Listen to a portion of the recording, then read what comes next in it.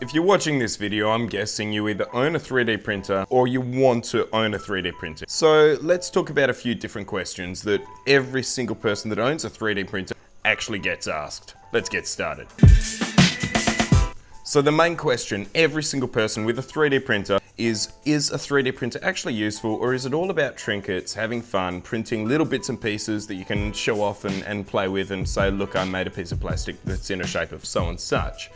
If you want to go into 3D printing with the concept of printing specific unique objects that are personalized to yourself, then you're going to need to CAD. If you want to go into 3D printing to come up with customized brackets and bits and pieces, you're going to need to CAD. If you want to go into 3D printing just to print beautiful, pretty little toys, then look, there's plenty of those on Thingiverse. So you need to weigh up what's actually important to you.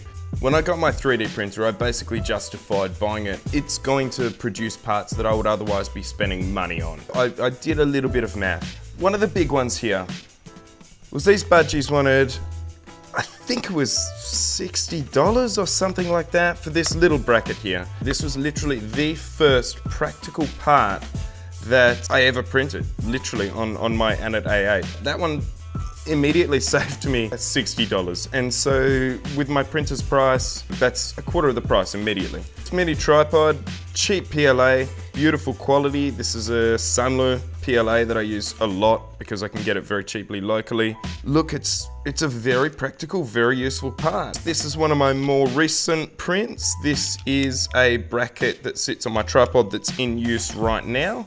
My Lilliput off-camera monitor sits absolutely so stable, so happy, absolutely love that.